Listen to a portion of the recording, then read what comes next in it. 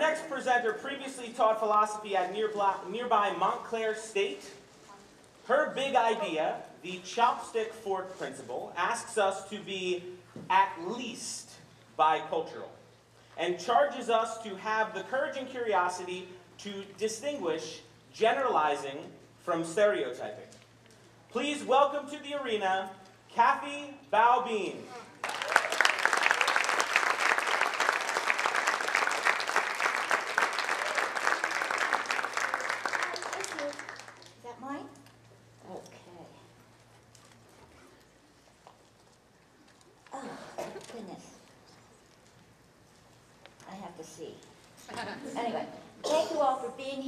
Chance to talk about uh, Americanizing by the chopstick fork principle. And to do this, I ask that you make two assumptions with me. One, that uh, if you're a hermit, and you're not because you're here, you are at least bicultural and probably take several cultural journeys every day. All right? The second thing is that you don't understand a culture unless you understand its humor. So please, if you don't have a sense of humor, pretend now, I don't mean to pretend that you understand something that you don't, okay? But pretend you have the confidence to say, I don't get it. And in doing so, encourage other people to be a teacher. The second thing that you pretend is that you have the courage to recognize that there's a very, very fine line between dysfunctional stereotyping and functional generalizing. And sometimes that line curves around. Okay, so um, basically, I'm going to talk about my cultural journey. First as an immigrant to the United States from China, and then as an immigrant from Bananahood. That's yellow on the outside, white on the inside, okay? now, as I talk about my cultural journey, I want you to think about yours. This is going into and out of neighborhoods, families, religions, moods, gangs, advertisements, countries, languages, religions, jokes, laws, fashion. So here's some of the facts and factors of my life. I was born in China in 1942. In 1946, uh, my parents, older sister Betty and I came to the United States, landed in Brooklyn. One day later, Betty and I were enrolled in public school number eight. I spoke no English. Betty could say Lucky Strike and shut up the principal let her skip two grades and made me do kindergarten twice. There was no ESL in those days. In 1941, we moved to Teaneck, uh, New Jersey, where the school kids got off for Yom Kippur, Christmas, Easter, Rosh Hashanah, but not Chinese New Year. Uh, so I felt a little left out at that point. In 1960, I went to college where I majored in history, government, and screaming. I, I, should be doing this, I think. There. Uh, the screaming didn't get me on the uh, uh, the lead role in the Diary of Anne Frank because the, di uh, the director didn't think a Chinese could play a Jew from Amsterdam. But it did get me on the Tufts cheerleading squad. And from there, this picture ended up in Sports Illustrated, clothed happily. the reason I want you to see this is because there's a platoon of Williams College ROTC cadets behind me. Yay! Okay. this is at a time when only 105 Chinese were permitted to immigrate to the U.S. per year. And that was by ethnicity, not by nationality. And you compare that with 15,000 that was permitted each year from the United Kingdom alone. So that's why I like this. Okay, in 1962, I heard Malcolm X tell my roommate she was no longer a Negro. She was a black woman. In 1964, I went to graduate school in California and learned how to philosophize and be my own matchmaker. There was no e-harmony in those days. one month later, met Bennett Bean, a Caucasian male who didn't wear socks and wanted to make art. He thought I was Japanese. in 1965, I went to Berkeley. There I met Bennett's friends. Most of them lived in hippie communes or nudist colonies. I became a Democrat. in 1967, I was accused of being a prostitute in a large, in a big New York hotel because the concierge didn't know that women with long Chinese hair might actually prefer using their brains for a living. Um, the next year, I started teaching at Jersey City State for less money than I made as a waitress. Meanwhile, Bennett, my husband, started teaching at a college that expected him to wear a suit in the ceramic studio. One year later, we were both fired.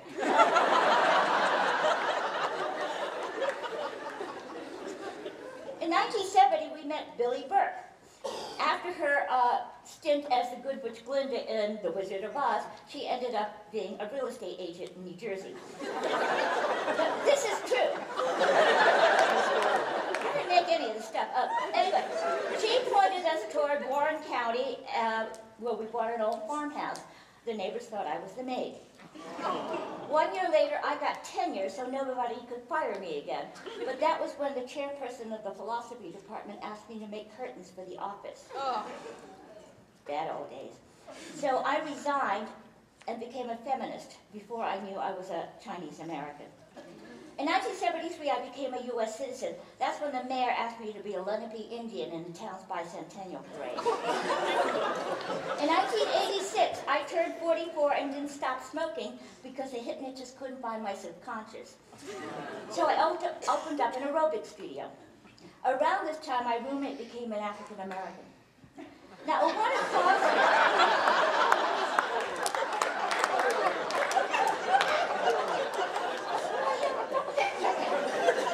You're taking up my time. Okay.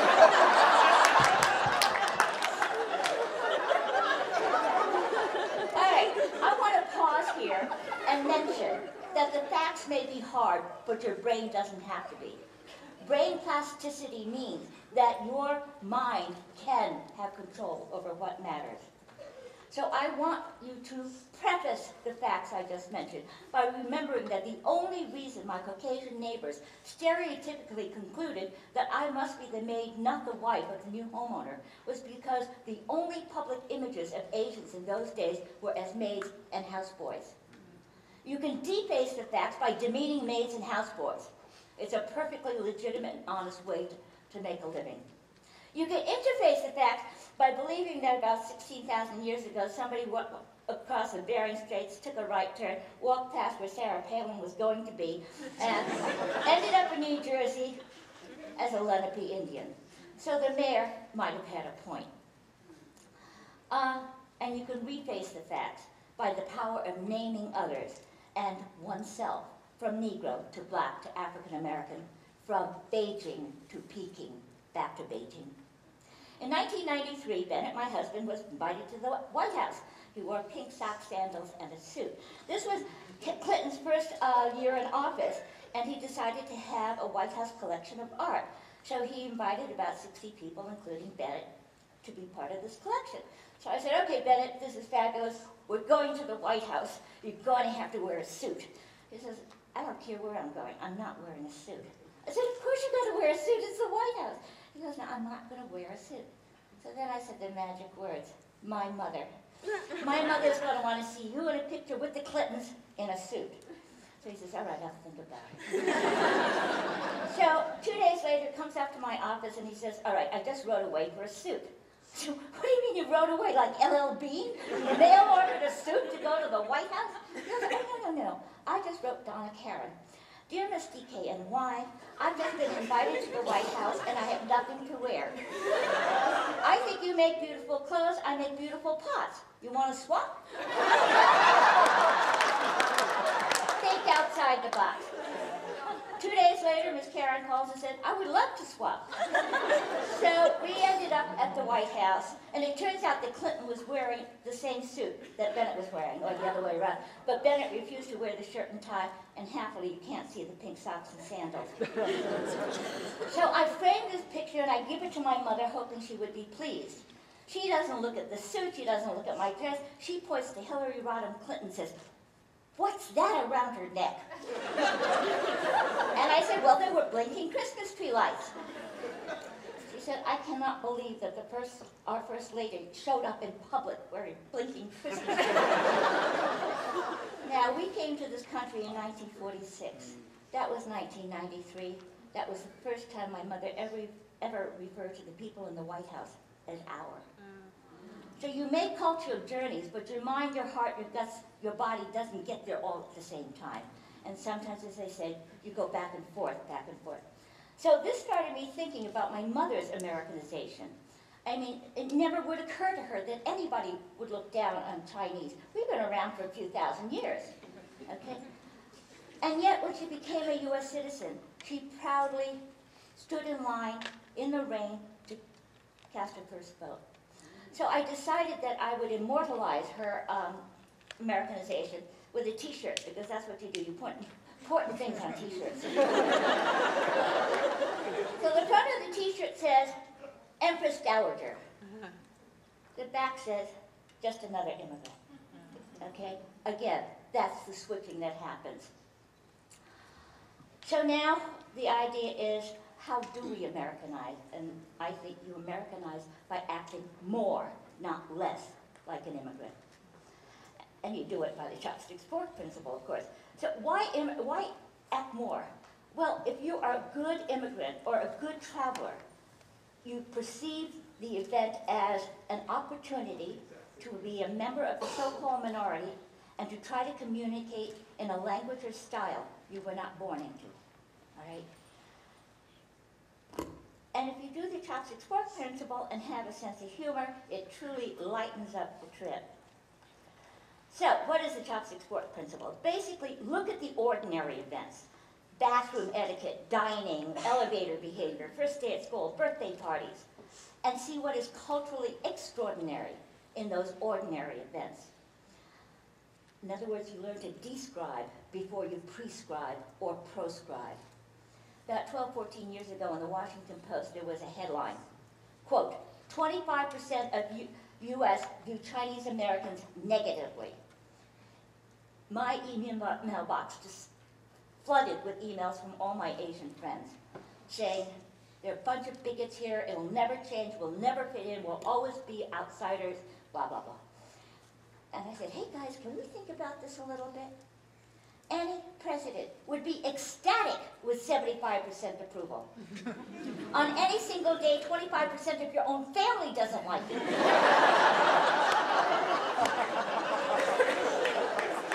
now, there is bigotry, but that wasn't proof.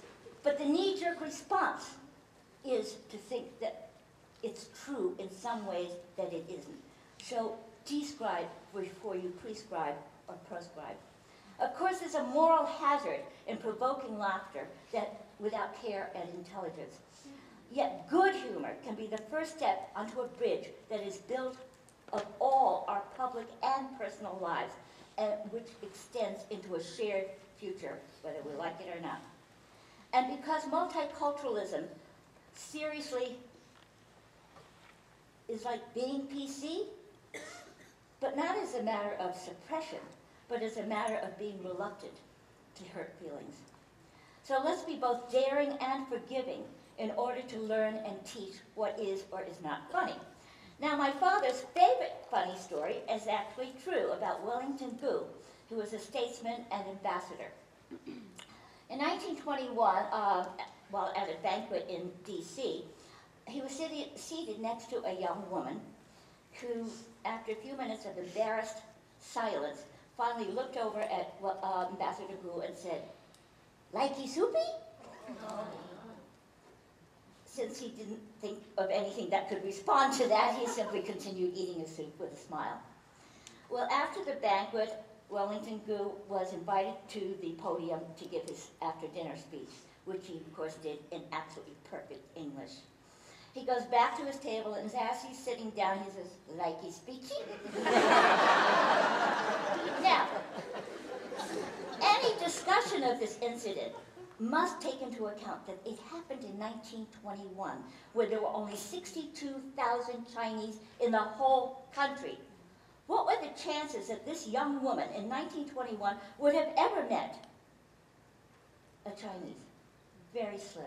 So, jokes, funny stories can really be a venture into translingual, transcultural, and um, interdisciplinary thinking, all right, exploring.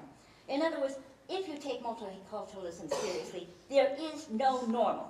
There are few assumptions and few shared conclusions. Indeed, there's only one universal truth. Listen up. Regardless of culture, no father ever says to his daughter, please, marry an artist. I may not know what is true, but I do know when I'm lying. So when I have... You're taking up my time. When I had my son, I didn't want to lie to him. So I had to make some serious decisions. One was about St. Nicholas, and the other was about the, the woman with the dental fixation. I decided to rename St. Nicholas the make-believe Santa Claus, and the woman with the dental fixation became the imaginary tooth fairy. And I'd like to read from my book. By the time William was five and shedding baby teeth, oh, here, I have another one there. Uh, shedding baby teeth on a regular basis, I got an inkling of how the realities and fantasies were coexisting in his head. It happened one night when I took him to school with me. Driving home, William was trying some new technique to extract the latest casualty of growing adult teeth. I was too tired to cook. I was looking for a restaurant. He succeeded and I succeeded. Sitting in the restaurant, the Chinese waiter looked at the bloody incisor and said, will your grandparents buy it from you? Alert to financial transactions of any kind, uh, William was interested, but perplexed. He looked at the man, then down at the tooth. I could guess what he was thinking. He knew the imaginary tooth fairy gave him real money for actual teeth. He knew my parents gave him red envelopes of money on special occasions. The question before the house was, what did one have to do with the other? Were they somehow in cahoots? Quickly, I told the waiter in Chinese, we do teeth American style. Tired, I wasn't up to going to the ontological status of fairies or the limited market value of baby teeth. the waiter left to get our tea and milk, having picked up on my desire to drop the subject. William did not. I don't understand. What, what did he mean? What did you mean? Overly casual, I let it out as fast as possible. In China, children get money from their grandparents. In America, they get it from the imaginary tooth fairy. His neck extended like a turtle, so his eyes could see my face clearly. His words were slow and deliberate. Who is the imaginary tooth fairy? Meeting him halfway so he could watch me even more closely, I said, who do you think it is? Then added, remember, it's the imaginary tooth fairy. And then flashed him a wink and a, this is a good joke if you're smart enough to get it. Sitting back, he thought. No conclusion came forth. Figuring he needed another clue, I said, remember, imaginary means not real. No reaction. William, Mama is real. Mama always called it the imaginary tooth fairy. Mama tucks you into bed. Mama has access to your pillow. Now think.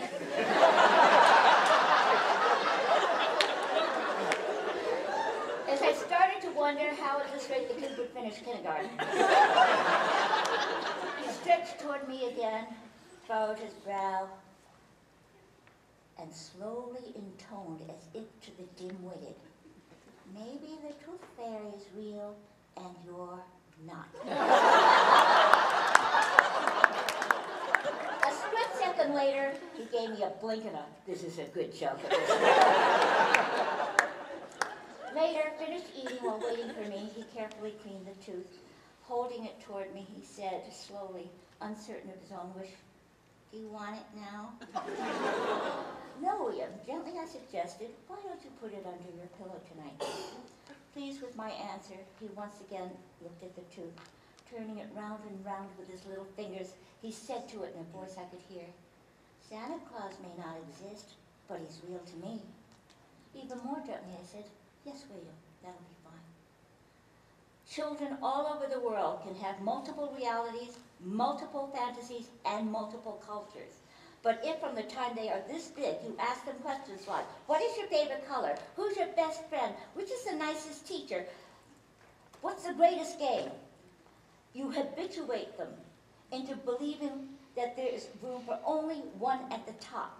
And that irrespective of how irrelevant the question is, that they have only one favorite color, they will be so habituated into thinking that, and that then we want them to grow old and be multicultural. No, they're gonna keep thinking they have to choose one, because that's what's the right thing to do.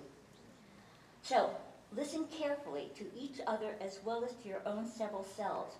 And when you have to choose, try to pick the option that will close the fewest cultural doors, remembering that good laughter will often keep the doors from being locked and help develop preemptive resilience against the bad stuff. Thank you.